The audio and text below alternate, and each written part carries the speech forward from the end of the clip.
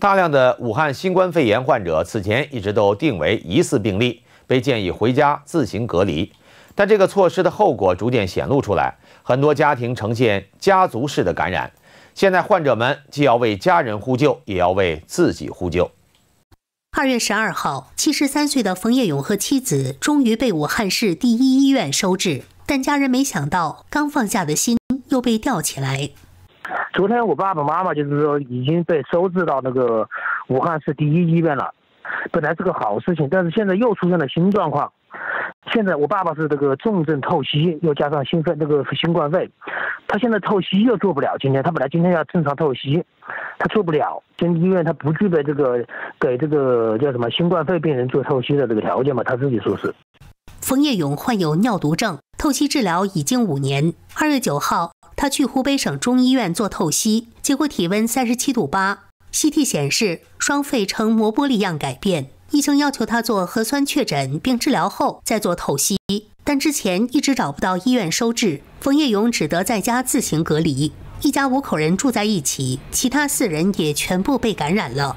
我和我爱人对也也现在这样的状况，我们在家里也也也管不了这个事情。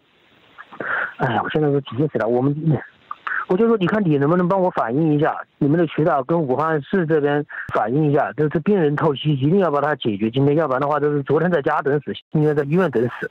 二月十二号，万民也在网络焦急的呼吁，让自己的姐姐万静荣尽快入院治疗。我们家的情况比较特殊，总共已经现在送进去了有四个人，家族是感染，然后还有一个就是我姐姐，呃，还没有进去，六十八岁了。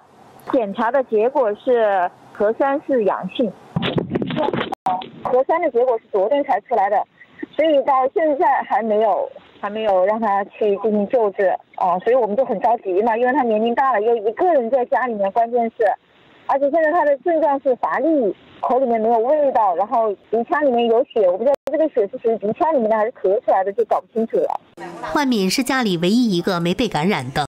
据他回忆，一切都是从二月初九十岁的父亲从养老院回家开始的。对，我就照顾他，然后父亲因为有老慢支，咳嗽就没有，大家就没有太在意。但是父亲咳很之后就送到医院去检查，但是医生说他是没事，照 CT 说他没事。所以我们家的人就没有在意，结果我爸爸在二月四号那天就走了，过世了。过世之前，我们把爸爸因为他发烧嘛，就带去看病，然后人家就非要他做一个核酸，就做了核酸。结果等我爸爸走了第二天，核酸结果出来是阳性。刘炳华二月二号起开始有发热症状，一直在家自行隔离。九号家里有一人确诊，十二号他自己也被确诊了。我的省市门诊已经做了检病，CT。做完以后确定受到感染了，我哪儿也没去啊。我们这个整个春节以以后就没有出出去过，春节前就是二十二十三日都没出去过，一直在家待着呢。刘炳华回忆说，孙女一月十三号坐动车从四川回武汉后，曾出现发热症状。发烧以后，他们过了发烧他几天以后，他就好了，没事了。慢慢的，我我也受到感染。而且我那个儿子、我儿媳妇他们都受了感染，他们已经隔离。这个我儿子住到这个武昌体育馆那个什么方舱医方舱医院，还有一个在旅馆里隔离呢。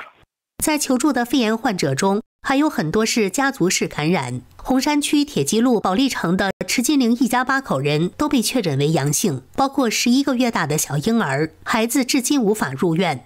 还有江汉区庙墩路社区的胡继华一家五口人住在同一屋檐下，相继感染。八十七岁的父亲已经神志不清，他们恳请社会救救家人，也救救他们自己。